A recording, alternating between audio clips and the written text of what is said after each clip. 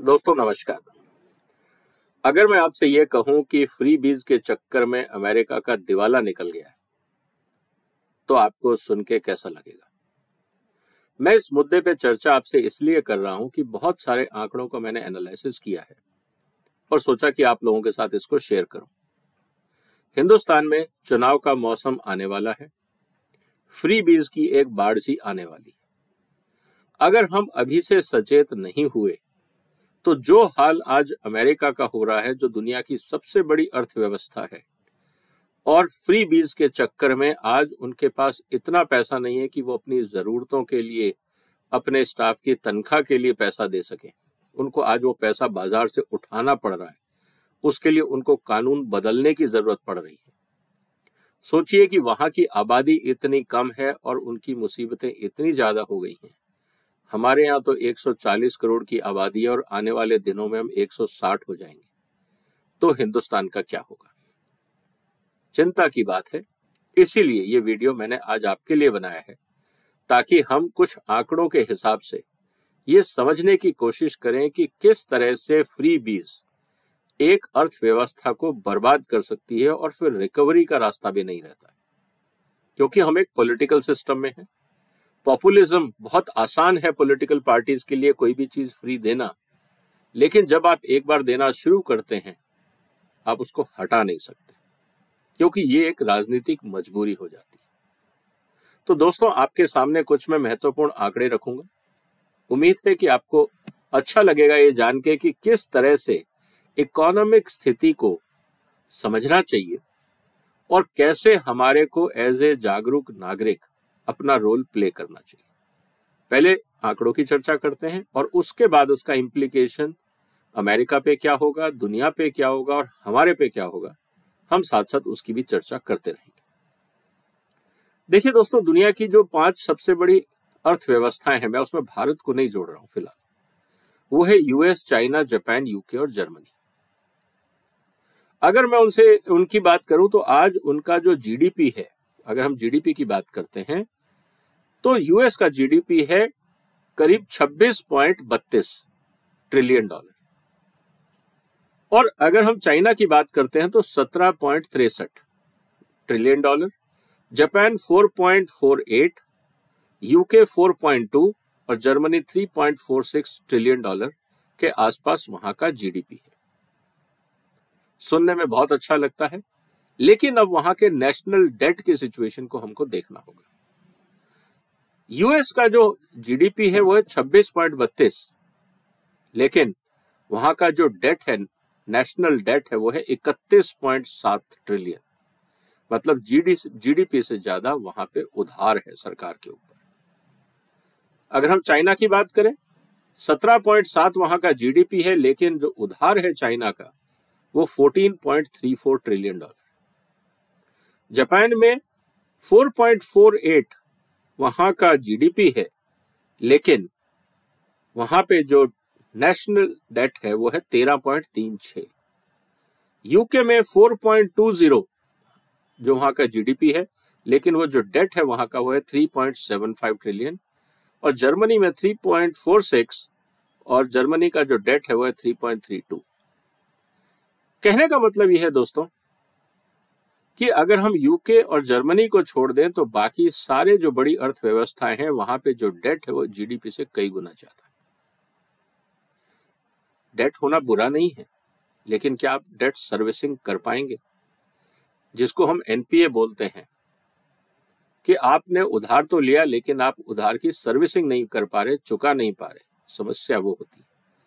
अगर हम टैक्स की बात करें तो अमेरिका का जो डेट है, वो 31.7 ट्रिलियन है। लेकिन जो अमेरिका का टैक्स कलेक्शन है वो मात्र 4.9 ट्रिलियन। और अगर हम उसका फर्दर ब्रेकअप करें तो आज अमेरिका की हालत ऐसी है कि उनके पास उतना पैसा नहीं बचा कि वो अपनी जरूरतों के हिसाब से जितना उनका टैक्स कलेक्शन होता है और जो उनके मैंडेटरी एक्सपेंडिचर हैं और नॉन मैंडेटरी एक्सपेंडिचर हैं, प्लस जो इंटरेस्ट पेमेंट है इस पूरे लोन के ऊपर, ये उसको चुका सके। दोस्तों, ये तब है जब अमेरिका में दुनिया में सबसे कम इंटरेस्ट रेट होता है। ऑलमोस्ट ज़ीरो या पॉइंट वन पॉइंट टू तक का इंटरेस्ट रेट चलता है। सोचिए कि इन्फ्लेशन के बाद जिस तरह से इंटरेस्ट बढ़ा है अमेरिका में इंटरेस्ट पेमेंट भी बढ़ गई। मतलब डेफिसिट और बढ़ेगा। इसीलिए वहाँ पे आर्थिक स्थिति ज़्यादा चिंताजनक और गंभीर होती जा रही अगर हम टैक्सेस की बात करें, अमेरिका में जो टैक्स सोर्सेज हैं, सबसे ज़्यादा करीब 42 परसेंट जो टैक्स है वो इंडिविजुअल्स की तरफ़ से आता है, लोगों की तरफ़ से आता है। इसका मतलब लोगों की इनकम है, उस पर टैक्स लगता है और सरकार को करीब 42 परसेंट जो टैक्स है यूएस का टैक्स कलेक्शन उसमें इंडिविजुअल्स का कंट्रीब्यूशन सोचिए कि अगर अमेरिका में रिसेशन आ जाए इन्फ्लेशन बढ़ जाए, लोगों की कंजम्पशन में कमी आ जाए जॉब छूट जाए तो क्या होगा? सबसे पहले जो इंडिविजुअल्स इनकम टैक्स देते हैं, उन पे मार पड़ेगी जो गवर्नमेंट ऑफ़ अमेरिका का टैक्स कलेक्शन कम हो जाएगा। उसके अलावा, जो इंपॉर्टेंट चीज़ इंटरेस्टिंग चीज़ ये है कि अमेरिका में जो कॉर्पोरेट टैक्स है, उससे मात्र छह परसेंट कलेक्शन होता है। सिर्फ़ कॉर्पोरेट को छह परसेंट टैक्स देना पड़ता है, अगर मैं टोटल छह परसेंट का कॉन्ट्रीब्यूशन है उनका अमेरिकन टैक्सेस में। अगर आज की स्थिति में भी अमेरिकन कंपनियाँ चाइना में जाके इन्वेस्ट करती हैं और वहाँ से इंपोर्ट करके अमेरिका में लाती हैं, व्यापार करती हैं और जो प्रॉफिट होता है उस पर टैक्स देती हैं और वो मात्र अमेरिका का टोटल रेवेन्यू का छह परसेंट है। सोचिए, अगर अमेरिका ने कॉरपोरेट पे टैक्स बढ़ाया तो क्या होगा? जो थोड़ा बहुत मैन्युफैक्चरिंग वहाँ हो रहा है, जो प्रॉफिटेबिलिटी हो रही है, शायद अमेरिकन कंपनी वहाँ से माइग्रेट कर जाए। तो कॉरपोरेट को अमेरिकन गवर्नमेंट जनरली छेड़ती नहीं है, क्योंकि उनको ये लगता है कि कम से कम ये एम्प्लॉयमेंट और इन्वेस्टमेंट तो दे रहे हैं। बैंकिंग सिस्टम तो चल रहा है मनी रोटेशन तो है, लोग काम धंधे में तो लगे हुए हैं। नहीं तो समस्या हो जाएगी कि लोगों को रोज़गार कौन देगा? और जब हम रोज़गार नहीं देंगे, लोग अनएम्प्लॉयड हो अनएम्प्लॉयड हो जाएँगे तो अमेरिकन सिस्टम के हिसाब से आपको उनको सोशल सिक्योरिटी देना पड़ेगा। इसका मतलब एक तरफ़ आपका रेवेन्यू कम हो जाएगा, दूसरी तरफ़ आपको और उधार लेके लोगों को सोशल सिक्योरिटी देना होगा। ये एक हिसाब से अमेरिकन इकोनॉमी डेड ट्रैप में चल जाएगी। स्थिति गंभीर है। कहने को अमेरिका दुनिया की सबसे ज़्यादा उभरती हुई अर्थव्यवस्था है, हम ये कह सकते हैं सबसे बड़ा बाज़ार है, लेकिन ये सब उधार की ज़िंदगी है। और मैं आपको बताऊँगा कि अमेरिकन पॉपुलेशन पे कितना उधार है। हकीकत यह है कि अमेरिका रोज, जो अमेरिकन सरकार है, वो रोज सात बिलियन डॉलर बाज़ार से उधार लेती है। Seven billion dollar per day American government को चाहिए बाज़ार से उधार। ताकि वो अपने आप को सस्टेन कर सके। ये स्थिति है आज अमेरिका की। सरप्लस की बात नहीं कर रहे हैं, उधार की बात कर रहे हैं। और इसका जो इंपॉर्टेंट एस्पेक्ट ये है कि जो टोटल रेवेन्यू है और जो टोटल बजटरी आउटले है, जिसमें सरकार को खर्चना है, जो टोटल रेवेन्यू अमेरिकन गवर्नमेंट का वो है 4.9 ट्रिलियन डॉलर जबकि उनका जो आउटले है, वो है 6.3 ट्रिलियन डॉलर इसका मतलब ये है कि जो मैंडेटरी एक्सपेंडिचर है, अगर मैं इसका फर्दर जो आउटले का ब्रेकअप करूँ तो उसमें 4.1 ट्रिलियन है जो मैंडेटरी है। और मैंडेटरी में क्या है? Social security medical care income security pension plan subsidies offset payment etcetera etcetera मतलब सारा का सारा कैश ट्रांसफ़र इसको मैं फ्री बीज क्यों कह रहा हूँ? क्योंकि ये पॉपुलिस्ट मेजर जो भी सरकार आती है, वो कहती है, हम आपको ये एक्स्ट्रा बेनिफिट दे देंगे, हम आपकी लिमिट बढ़ा देंगे, हम आपके लिए ये कर देंगे। करिए, पैसा कहा है? और क्योंकि वो मैंडेटरी है बाय लॉ है तो आप उसको कम भी नहीं कर सकते। और आने वाले किसी सरकार की ये हिम्मत नहीं होती कि वो मैंडेटरी प्रोविजंस के लिए कानून लाके उसको मॉडिफाई कर सके, क्योंकि जो अपोजिशन पार्टीज़ हैं वो करने नहीं देती क्योंकि उनको लगता है कि जो रूलिंग पार्टी है, अगर वो परेशान है, वो इकोनॉमी नहीं चला पा रहे हैं तो ये बहुत अच्छा पॉलिटिकल एजेंडा है जनता के सामने जाने के लिए कि देखिए सरकार को हटाइए, हमें मौका दीजिए क्योंकि ये चला नहीं पा रहे। और हकीकत यह है कि ऑपोजिशन को भी ये पता होता है कि वो भी नहीं चला पाएँगे। लेकिन कम से कम पॉलिटिकल एजेंडा में मैनिफेस्टो में जनता को मूर्ख बनाने के लिए आर्ग्यूमेंट काम तो आएगा। इसी बहाने हम कुर्सी तक तो पहुँचेंगे। इसीलिए कोई भी ऑपोजिशन पार्टी जब इकोनॉमिक रिफॉर्म्स की बात आती है प्रूडेंस की बात आती है सेंसिबिलिटी की बात आती है तो रूलिंग पार्टी का साथ नहीं देती है। क्योंकि जितनी आर्थिक स्थिति बिगड़ेगी, उतना रूलिंग पार्टी को आप आसानी से गाली दे सकते हैं और जनता भी क्योंकि इन चीज़ों को डिटेल में नहीं समझती तो वो सोचेंगे कि साहब जो रूलिंग पार्टी है, इसने मिसमैनेजमेंट किया और जो पुरानी सरकारें थी, वो अच्छा कर रही थी तो जो अभी सरकार है, इसको बदल देना चाहिए। क्या आने वाले समय में, चाहे कोई भी अमेरिका में सरकार आए, क्या वो इस खर्चे को घटा पाएँगे? मैंने उसका एक एनालिसिस किया है कि आने वाले दिनों में अमेरिका का क्या हाल होने वाला है। दोस्तों 2023 से लेकर 2028 तक मैंने एक आंकड़ा कैलकुलेट किया है। हर साल अमेरिका को कम से कम 1.27 से लेकर 1.5 ट्रिलियन डॉलर का डेफिसिट होगा। इसका मतलब उनको बाज़ार से पैसा उठाना पड़ेगा इनरेस्पेक्टिव ऑफ़ गवर्नमेंट पार्टी कौन सी हो सत्ता में, इससे कोई फ़र्क नहीं पड़ता, क्योंकि ये सब मैंडेटरी एक्सपेंडिचर ये तो खर्चा करना ही पड़ेगा कानून के हिसाब से। जब तक आप कानून नहीं बदलेंगे, तब तक कुछ नहीं होगा। इसका मतलब ये है कि अमेरिका का इस समय जो हालात है उसकी स्थिति हर साल बिगड़ती जाएगी जो डेट है। अगर हम उसको कैलकुलेट करें तो आज जो 21.6 ट्रिलियन डॉलर का डेट है, वो बढ़ के 2028 में 28.7 ट्रिलियन डॉलर हो जाएगा। और जो जनता, जो जिसको जीडीपी की हम बात कर रहे हैं, कि जीडीपी का ये कितना हो जाएगा, ये आपकी जो जनता के हाथ में डेट है, गवर्नमेंट की डेट नहीं, जो जनता के हाथ में डेट है जनता इस समय करीब 88 परसेंट डेट में है। अगर जीडीपी की मैं बात करूँ पब, पब्लिक डेट जो जनता के पास वो बढ़ के 96.2 परसेंट पब्लिक डेट हो जाएगा। इसका मतलब हर आदमी कर्जे में डूबा हुआ है और उस लेवल तक कि उसके पास पेमेंट का पैसा भी नहीं बचेगा। अब दोस्तों इसमें ये समझिए कि ये तो मैंने जो आपको बताया था 4.1 ट्रिलियन डॉलर जो मैंडेटरी एक्सपेंडिचर था आउट ऑफ़ 4.9 ट्रिलियन जो रेवेन्यू कलेक्शन होता है अमेरिका का, उसमें 4.1 मैंडेटरी 1.7 जो है वो डिस्क्रिशनरी इन्वेस्टमेंट या एक्सपेंडिचर है डिस्क्रिशनरी में अमेरिका में क्या होता है? डिफेंस और उसके साथ साथ एजुकेशन हाउसिंग ट्रांसपोर्ट कोविड जैसी महामारी को ट्रीट करने के लिए जो इमरजेंसी वैक्सीनेशन वगैरह वगैरह तो हालत ये है कि non defence is almost one trillion and seven point seven five trillion जो है वो डिफेंस एक्सपेंडिचर 750 बिलियन के आसपास।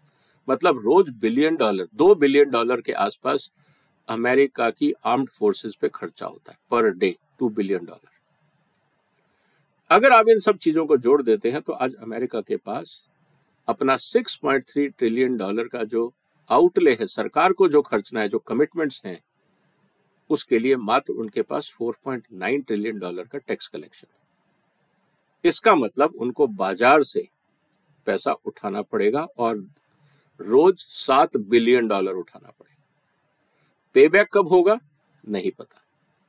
अगले साल होगा? नहीं पता। 2028 तक का मैंने आपको आंकड़ा दे दिया। अगले पाँच साल तक अमेरिकन सरकार के पास इतना पैसा नहीं है कि जो वो उधार ले रहे हैं, उसको या तो वो रोक सके। उनको हर साल उधार बढ़ाना पड़ेगा। इसका मतलब उन पे जो डेट सर्विसिंग है, वो बढ़ता रहेगा, अब उसके दो ही तरीके। या तो अमेरिका में टैक्स बढ़ाए। इसीलिए बार बार अमेरिका में इस बात की चर्चा होती है कि जो सुपर रिच लोग हैं, उन पे टैक्स बढ़ा दिया जाए।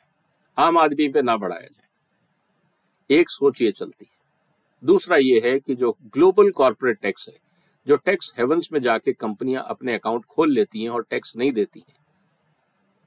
उस सिस्टम को बंद किया जाए, इसीलिए मिनिमम टैक्स जो 15 परसेंट ओईसीडी ने फिक्स किया है, उससे शायद थोड़ा रिलीफ मिले। लेकिन जिस तरह से फ्री बीज के खर्चे हैं, क्या अमेरिका उसको पूरा कर पाएगा? सवाल ये। ये मैंने आपके सामने केस केस स्टडी रखी अमेरिका की। अब इसको हम सुपर इम्पोज करते हैं भारत। अब मुझे ये बताइए कि जिस तरह से फ्री बीज की घोषणा हर इलेक्शन मैनिफेस्टो में होती है कि 200 यूनिट बिजली फ्री 300 यूनिट बिजली फ्री, ये कब तक चलेगा? क्योंकि बिजली कौन पैदा कर रहा है? बिजली पैदा कर रहा है प्राइवेट सेक्टर। अगर वो प्राइवेट सेक्टर अगर उसको पैसा नहीं मिलेगा तो क्या बिजली उत्पादन कर पाएँगे? नहीं कर पाएँगे। अगर उनको बिजली के प्लांट बंद करने पड़े तो क्या होगा? प्रोडक्शन रुकेगा, देश में हाहाकार होगा। और अगर स्टेट गवर्नमेंट्स को बिजली के प्लांट्स के पैसे देने हुए तो वो कहाँ से लाएँगे? एक तरफ़ तो उन्होंने फ्री बीज का प्रॉमिस कर दिया तो कहीं ना कहीं तो टैक्स बढ़ाना पड़ेगा।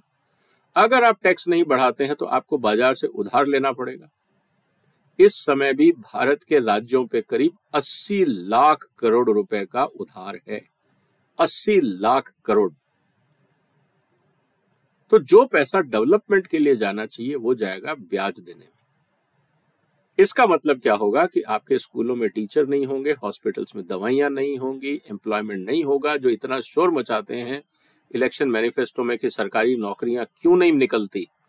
उसका कारण यह है कि सरकार के पास तनख्वाह देने के पैसे भी नहीं।